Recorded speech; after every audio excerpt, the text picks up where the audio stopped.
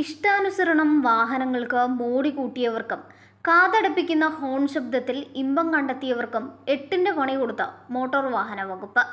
കാൽനട യാത്രക്കാർക്കും മറ്റു വാഹന യാത്രക്കാർക്കും ഭീഷണിയാകുന്ന രൂപത്തിൽ അപകടകരമായ ഡ്രൈവിംഗ് നടത്തുന്നവർ നിയമത്തെ വെല്ലുവിളിച്ച് നിരത്തിലിറങ്ങിയ വാഹന ഡ്രൈവർമാർ ഉൾപ്പെടെയുള്ളവർക്കാണ് നടപടി.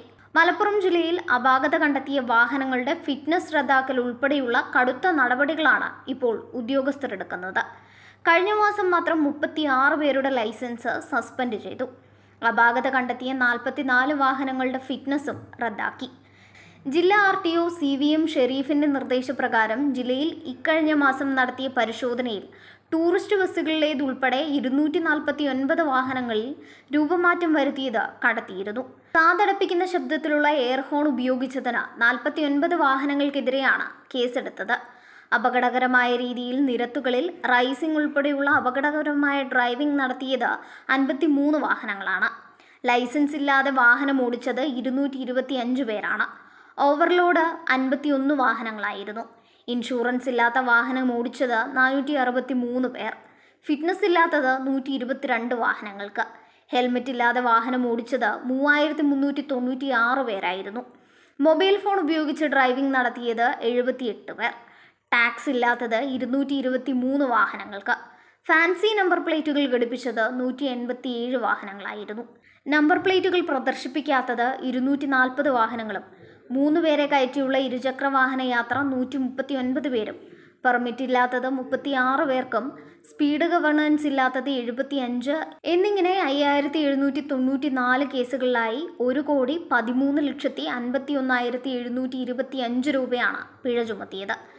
മലപ്പുറം ജില്ലയിലെ എൻഫോഴ്സ്മെന്റ് ഉദ്യോഗസ്ഥരും അതുപോലെ തന്നെ ഓഫീസിലുള്ള ഉദ്യോഗസ്ഥരും കൂടി അയ്യായിരത്തിലധികം കേസുകളാണ് രജിസ്റ്റർ ചെയ്യപ്പെട്ടിട്ടുള്ളത്. കഴിഞ്ഞ മാസം പ്രത്യേകത എന്ന് പറയുന്നത് വടക്കാഞ്ചേരി വാഹനവുമായി അപകടവുമായി ബന്ധപ്പെട്ടുകൊണ്ട്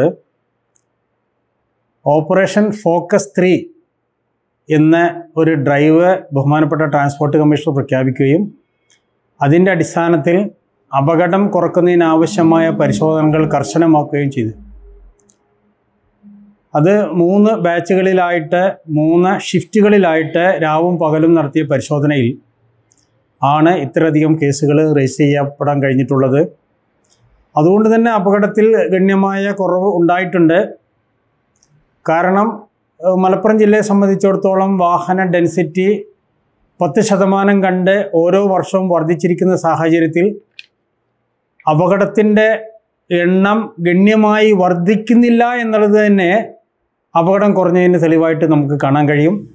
മോട്ടോർ വാഹന വകുപ്പ് എൻഫോഴ്സ്മെന്റ് വിഭാഗം ഉദ്യോഗസ്ഥരുടെയും Malappuram R T O office Tirurangadi Tirur Nilambur Perinthalmanna Kondotty Ponnani ഓഫീസിലെ ഉദ്യോഗസ്ഥരുടെയും നേതൃത്വത്തിൽ ജില്ലയിലെ സംസ്ഥാന ദേശീയപാതകൾ കേന്ദ്രീകരിച്ചാണ് രാപ്പകൽ വ്യത്യാസമില്ലാതെ ഉദ്യോഗസ്ഥർ പരിശോധന നടത്തിയത്.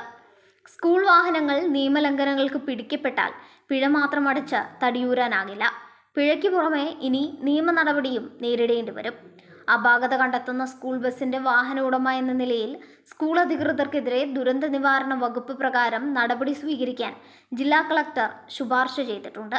ഇത്തരത്തിൽ പതിനേഴ് സ്കൂൾ വാഹനങ്ങളുടെ ഉടമയായ സ്കൂൾ അധികൃതർക്കെതിരെ ദുരന്ത നിവാരണ വകുപ്പ് പ്രകാരം നടപടി സ്വീകരിക്കാൻ മോട്ടോർ വാഹന വകുപ്പ് ജില്ലാ കളക്ടർക്ക് ശുപാർശ ചെയ്തു. കഴിഞ്ഞ മാസം മാത്രം മോട്ടോർ വെഹിക്കിൾ ഇൻസ്പെക്ടർമാരുടെ നേതൃത്വത്തിൽ ജില്ലയിൽ നടത്തിയ സ്കൂൾ വാഹനങ്ങളുടെ പരിശോധനയിൽ ഗുരുതര നിയമലംഘനങ്ങളാണ് കണ്ടെത്തിയത്. ആയിരത്തി ഇരുന്നൂറ് സ്കൂൾ വാഹനങ്ങൾ പരിശോധിച്ചതിൽ നിയമലംഘനങ്ങൾ കണ്ടെത്തിയ എഴുപത്തിരണ്ട് സ്കൂൾ വാഹനങ്ങൾക്കെതിരെ കേസെടുത്തിട്ടുണ്ട്. അപാകത കണ്ടെത്തിയ നാല് സ്കൂൾ വാഹനങ്ങളുടെ ഫിറ്റ്നസ് ഉദ്യോഗസ്ഥർ റദ്ദാക്കി. വിദ്യാർത്ഥികളുടെ സുരക്ഷിത യാത്ര ഉറപ്പുവരുത്തുന്നതിൽ യാതൊരു വിട്ടുവീഴ്ചയും ഇല്ലെന്ന നിലപാടിലാണ് അധികൃതർ.